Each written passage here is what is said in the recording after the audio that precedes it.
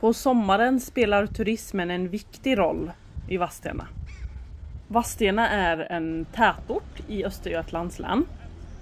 Vadstena ligger på Vätterns östra strand 16 kilometer sydväst om Motala.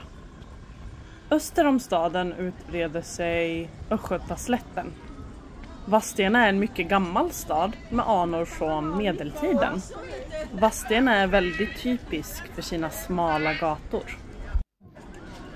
Så tidigt som 1945 inrättades Vadstena folkhögskola.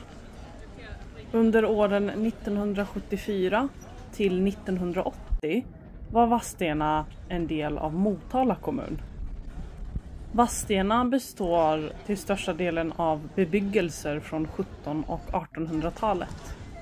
Staden har även byggnader fortfarande kvar från medeltiden.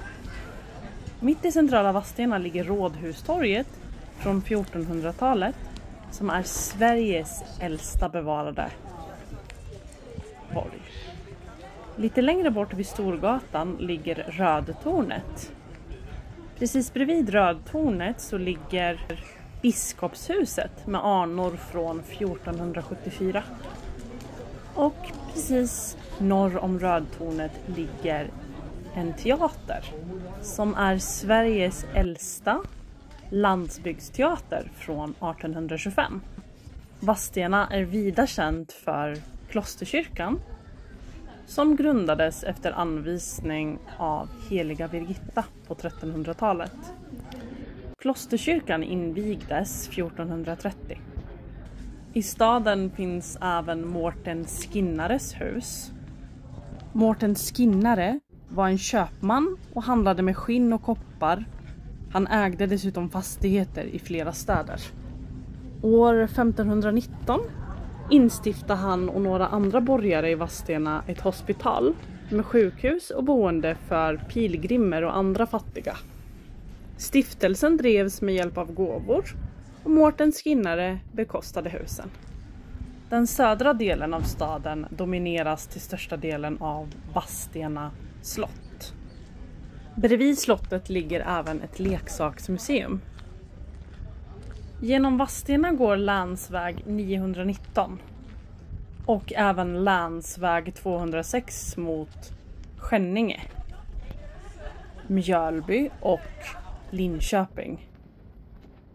Hit går även Östgötatrafikens bussar.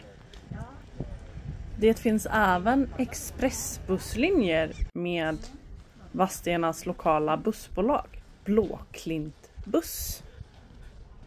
I Vadstena finns även museiföreningen Vadstena Fågelsta järnväg som jag har gjort en separat video om också. I Vadstena finns även ett landskapsarkiv som har förvarat skrifter ända sedan 1899. I detta arkiv kan man få reda på vilka som har vigts, vilka som har avlidit och vilka som har fötts. Och även begångna brott, lagfarter och bouppteckningar. Samt kartor. I många fall används delar av den här informationen när man vill släktforska. Vid Rådhustorget kan man även finna Vadstena stadsmuseum. Ett museum som skildrar Vadstenas historia från 1400-talet och framåt. Fokusen ligger på stadsbornas egen historia och även vardagsliv, alltså hur det var att leva här under den tiden. Vadstena stadsmuseum ligger precis intill Vadstena rådhus som är Sveriges äldsta bevarade rådhus. Om du vill veta lite mer om heliga Birgitta så kan du även passa på att besöka Sankta Birgittas klostermuseum som ligger i nära anslutning till klosterkyrkan. Själva museibyggnaden byggdes redan på 1260-talet och var på den tiden ett kungligt palats och blev senare nunnekloster. Bastena kloster. Byggnaden var ett kungligt slott ända fram till 1346. Palatset testamenterades av Magnus Eriksson och drottning Blanka av Drottning Blanka av Namur var hustru till Magnus Eriksson och var svensk, norsk och skånsk drottning från 1335. Skåne var ju på denna tiden faktiskt ett eget land, Skåneland.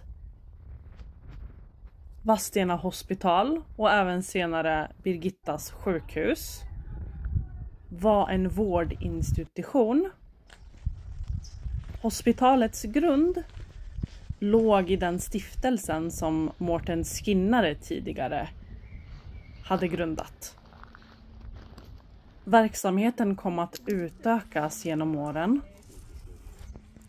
1704 byggdes verksamheten ännu större, fick en ny huvudingång.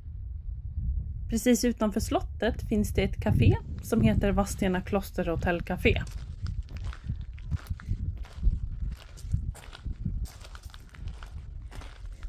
Och här ser du även ingången till Sankta Birgittas klostermuseum. Under 1930-talet byggdes det gamla hospitalområdet ut och fick då istället namnet Birgittas sjukhus. Ett annat café nära anslutning till slottet heter Slottsgårdens café. Det som idag återstår av eh, Birgittas sjukhus är en rättspsykiatrisk klinik.